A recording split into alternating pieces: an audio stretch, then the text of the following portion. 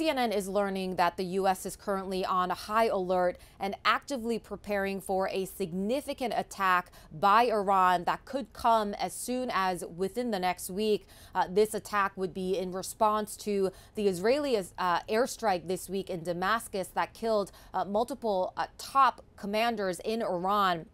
U.S. and Israeli officials uh, are saying that this attack by Iran is basically inevitable and that the two governments have been working together furiously to prepare for such a scenario, though even as of Friday, officials uh, are not entirely clear on exactly when and how Iran would carry out uh, this attack. We're also told that after that Damascus uh, airstrike by the Israelis that took out those Iranian officials, uh, Iran actually sent a message to the U.S. blaming the U.S. for that attack and that the U.S.'s response was to say that the U.S. had no involvement in the attack, didn't know about the attack ahead of time, and that the U.S. also warned Iran against uh, coming after U.S. personnel and U.S. assets, an exchange uh, that certainly highlights how volatile this current situation is.